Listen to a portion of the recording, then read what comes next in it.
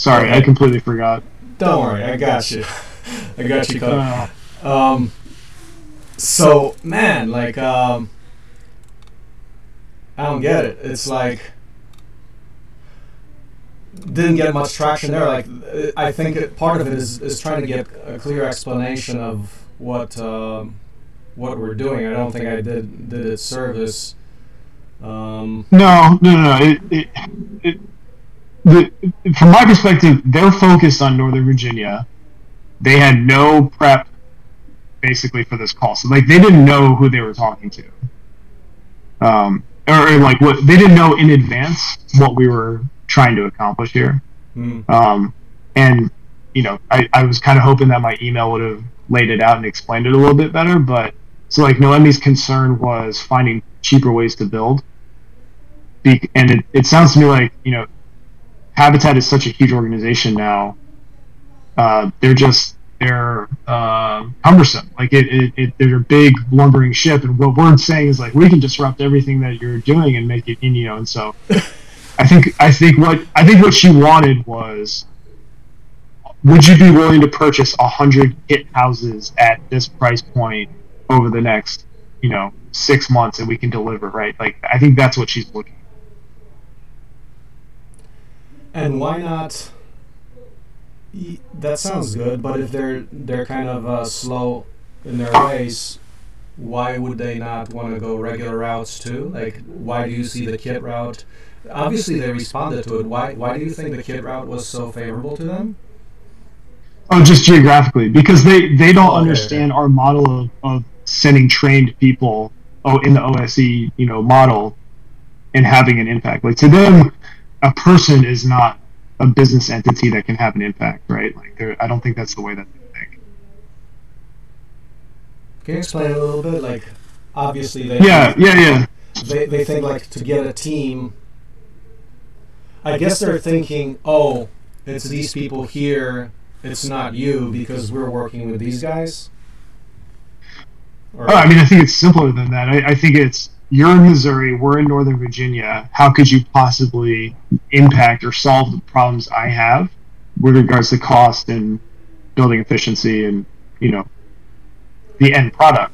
so and and there's like be, behind everything that you're doing is empowering human beings to start their own ventures where the eco home is a small part of it but hmm. that's like an alien concept um, and what what the way that they operate is like you're not licensed in Virginia as a general contractor so like why are we even having this okay okay. So to kind of think so kind of like maybe more bureaucratic thinking like as in okay if they were progressive they would say oh wow okay entrepreneurial activity we can set up people we can basically create our own captive workforce like they cannot think that far it might be too much time too much complexity it's just not their model Sure. Yeah. All the above. It doesn't address their immediate po- problem that they have to report to their bosses too, which is cost. Probably. Probably. It's like, yeah, that's a great idea for the future, but how, how does that help me now? What, so I was trying to ask them like, what would we, what could we give you right now that that would actually meet your needs? Because it's like if we say five days and uh, hundred thousand, I think you know it's hands down. So where is the disconnect there? Like credibility? It's not real to them. It's not real to them. I mean, I, I, I think it's a combination of things, but like, if imagine you're you're Kelly and you you're a project manager or whatever for several different house builds. Mhm. you're constrained by your mental model for how to build a house right now. And so if we come in and we say we're going to build a thousand square foot house for hundred thousand dollars, just like everybody else that we talk about this to, you know, the vast majority of people, unlike Brian Potter, but like he's an outlier. The vast majority of people would be like, well, something's got to give. Like the inside's not going to be finished, or you're you're not going to have, you know, it's not going to be to the same. Uh, comparable product standards that exist that we are able to. Okay. You know, and so it's not real to them. I think there's just an inherent skepticism, which is you know to be expected. Sure, sure. Yeah, yeah, okay. No. Okay, so so right now we're we're addressing a credibility problem. Like it's too far out to, for somebody to say that this is even possible. It's really like someone would really have to be super familiar with it and familiar with the various innovations that we bring to the table, for them to even say, "You're not smoking shit here," right? Yeah, well, I'd, I'd take it a step further and say that like, you know, it, people like Habitat and even production builders now. I think, and even my neighbor who's a contractor, like they exist in this world in which uh, a finished house has to look a certain way.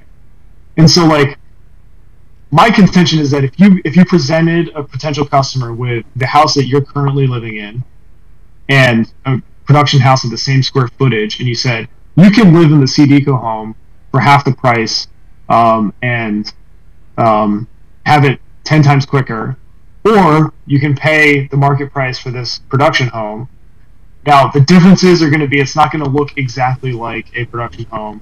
You know, uh, there's going to be some. You're going to have to adapt a little bit your tastes. And I think they're rationally going to choose. They're nine times out of ten going to choose the Seed Eco home because of every the, the value proposition there. But before you get to that point where you can present the two options, people assume that tastes are sticky, and that and people aren't going to be willing to change their tastes and what a finished home looks. like that that's my assumption hmm. about what's going on here. Like like the Seed Eco home that you live in doesn't have separate rooms for kids, for example, or you know, it's there are there are changes in people's tastes to like adopt the Seed Eco home as but like what we're saying as a value proposition is like would you rather live in a dilapidated place that you have to rent or make some moderate changes to your tastes and live in this great Seed Eco home, right? that's never been done on the market because like people who sell houses are trying to cater to existing taste and what we're saying is like we can we can potentially change that by making a, a unbeatable an offer they can't refuse basically mm-hmm. how does this logic apply to things like boxable because boxable is a, you know a little different in flavor not your standard house you know boxable no, but my guess is that um, Boxable Casita. Yeah, I mean, my, my guess is that there's a small part of the market right now that is open-minded enough to buy something like Boxable, right? But when you're talking to Habitat for Humanity, they're they're dealing with like the most average home buying customer on the market. They're they're dealing with the average taste. People who go to Boxable are like they have already opted into a change or a modification to like what their expectations are, what a house should be. Um, and like I think this is part cultural and generational, and and it's mm-hmm. probably trending more towards the boxable side or the Seed Eco home side. Um, but you know, it's I, I think this all reduces down to like things that are new and change the status quo always face resistance to some extent. Okay. Yeah, yeah. I guess that that could explain why. Um, you know, we ran into Habitat here and there, just had some communication here and there, but it kind of never went anywhere.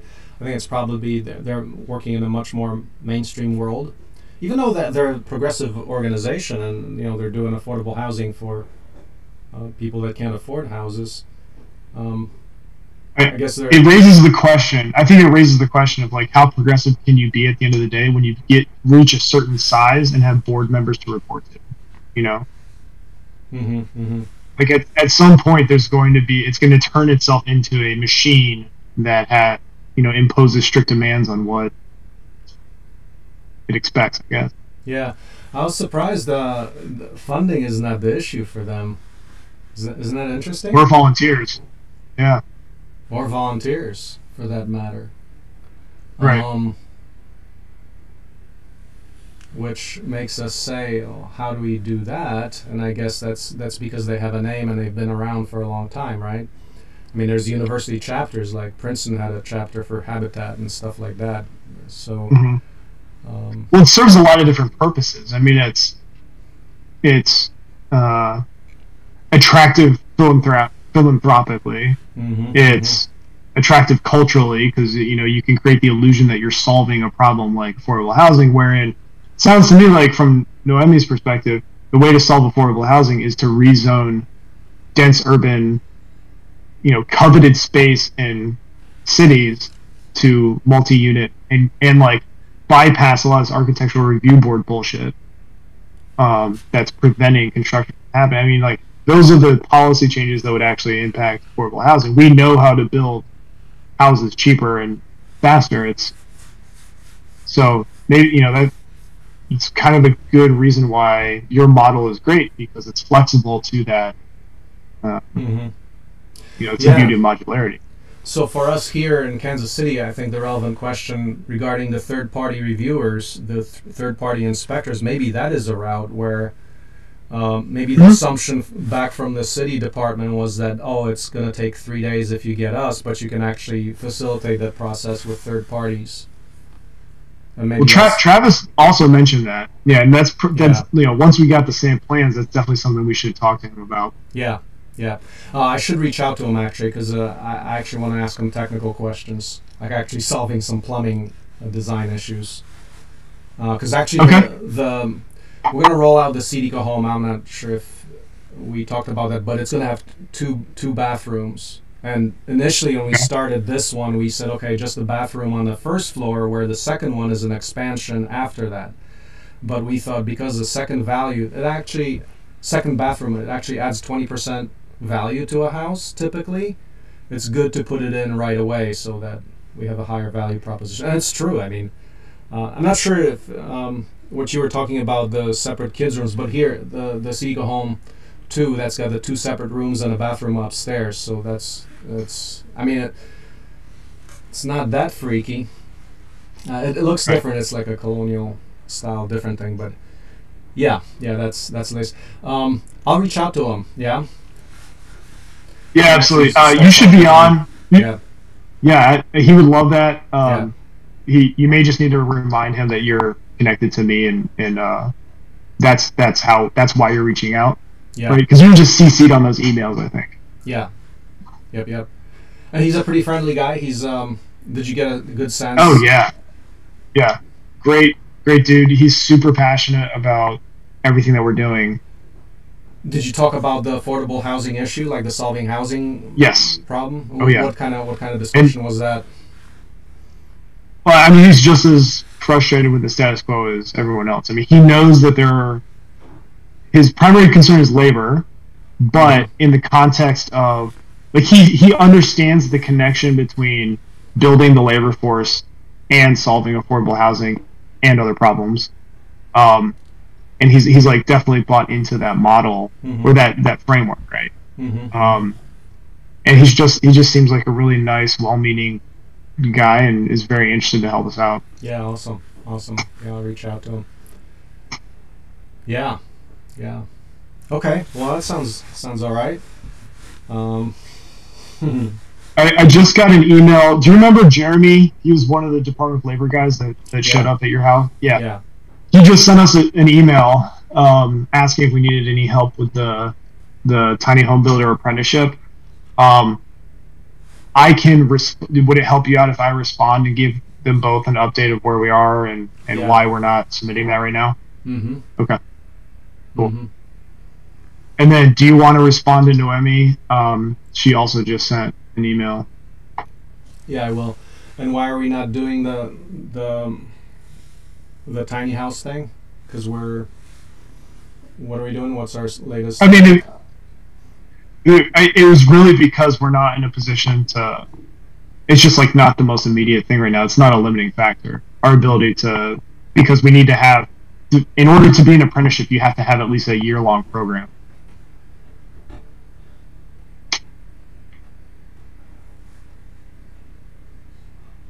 Oh, how does the year-long program uh, reflect? Like, how is that different for the the tiny house? You're saying we're just we would just have to completely redo the the program, right? Oh, well, not necessarily. I mean, uh, the the tiny house idea for the apprenticeship uh, came up because we were talking about like the how do we transition from no infrastructure to being support being able to support the full apprenticeship Mm-hmm. and we were considering the tiny home or the cabin builds and the workshops and everything Um, and so like we could we could just like the production technologists, we could build a work process and get that approved. That would be very easy, and I can do that if you think it's worth it. Um, we just stopped focusing on that because right now we're in like a product development stage, and the Seed Eco Home is actually the first step. Um, and so like we're I think just a reality check for us was we're we have much more work to do before we bring apprentices to campus to be apprentices and be, be paid. Yeah. Right. Mm-hmm. Mm-hmm. Yeah. Yeah. All right. Yeah. So. But I'll, I'll CC you and everything. So Yeah. Yeah. Take that. I'll, I'll respond to Noemi about OSE thing. No, that would be interesting just to to let them know. I'm not sure. Um. Yeah, regarding the build model, I, I guess I'm not sure if after talking to you, if they didn't, because we're not ready right now. It's it's probably something that could wait for a little longer. But but I, I can respond to her just saying, hey, this is what we think our value proposition is and why we think that's interesting to you. Um, right. but would the discussion look simply like, okay, yes, but simply because um, uh, it's hard to believe that this is possible. Like, okay, we'll we'll show you once we have a few of these things, and the case. Oh man, yeah. That's that's kind of. I mean, my gut says like you, you have if she's gonna put your pitch in front of Habitat International, I would just I would be as authentic as possible because they have people who think strategically, or at least they should at the at the headquarters level. And so, Noemi may not be the right person to hear that pitch, but somebody at Habitat International and shit like at this point, simply having a contact there is super valuable. Oh, you're right about that. That's right. If um, if we're talking about a good organization in the C-suite, depends. Mhm. Depends though, because I mean I, I'm kind of used to the entrepreneurial world of startups, and there I would you better believe it. This the the founders and leaders there are typically uh, very hungry. I can't say that for what what it looks like for Habitat. I, I don't have any experience. But my Yeah. my point is that they've got nothing to lose, or we have nothing to lose. I mean, like the, your plan's are already out there, and so if somebody at Habitat, like they're not a competitor yet, or even if they were a competitor, that in a lar- some sense that would be great because they're going to be proving the model for us at scale. But you know, nobody's going to your website, taking your plans, and turning this into reality. Like only you're doing. Mm-hmm, mm-hmm. Oh, do you think that, that for today's discussion, the act, there was another dynamic there that is we're com- actually competition, or you, you think they were uh, just not seeing it, just No, I, I got the impression that they are um, they're they're deeply concerned about stuff that doesn't really matter to us. Like they're deeply concerned about cost overruns at Habitat, and they're deeply concerned about being able to show property acquisition and, and accomplishing whatever their goal is in terms of like number of houses produced. And you know, I think going back to like the psychology of it, anytime you say that I've got a way better solution to the thing that you've been doing for the past 10 years, uh, people, I think, even if they agree with it, the, the initial reaction will always be defensive because it's a, it's hard to not be like, ask yourself like, well, why didn't I think of that? Or how come we're, you know, there must be some reason we're not doing this already if it's such a good idea. right? so. I think it would Um, be it would be fair to say that well, yes, the, they're a more bureaucratic organization, but at the same time, it's the psychological trauma. Like Katerina and I here talk about this in a way that well, if you've been doing something for all your life, you cannot admit to some different or better solution because that would be uh, very traumatic psychologically. That means you've been doing Yeah. something wrong your whole life, and that's and, and that's that's if that's if you're raised in a system in which not ha- not being the person with the credit for the idea costs you something. Like right now, we reward people for uh, like Elon Musk for innovating or coming up with a new solution to a long-standing problem. The sword cuts both ways, then, which is there's like a zero-sum competition to be the person with the idea that gets all the credit and payoff from it. And if you're not that person, then it's a it's a question of status now. Um, and you know, I don't think either of them thought about it that deeply. I just think that they they're laser focused on their job and solving the problem that is in front of them. And in some sense, we may just be like complicating their life by introducing this like wild idea that hasn't been proven on the open market yet. Yeah. Um, so like it could be as simple as they just don't have the bandwidth to really think deeply about it. Mm-hmm, mm-hmm. Yeah, yeah, yeah. All right. All right. Well, I will. Uh, I'll work on this email, and then. Um, oh, I, I did want to bring up. So tomorrow, I'm going to be out of town. Um, is it possible to move our meeting tomorrow? Um, either just go to the next week or move it to like Friday Yeah, or Saturday Next week. That's fine. next week. Okay, cool. Yeah. Yep. Great. All right. Uh, any progress on the EV grant? Uh, no, no, I've, I've been completely all over the You do you, man. It's not holding us back right now. Mm-hmm. Yeah, man. Great. All right. Well, thanks right, for setting up this conversation. Those good, good learnings, and we'll continue. Yeah. Okay. Give my love to Katerina. Okay. Thanks, man. Take care. All right. Bye. Bye.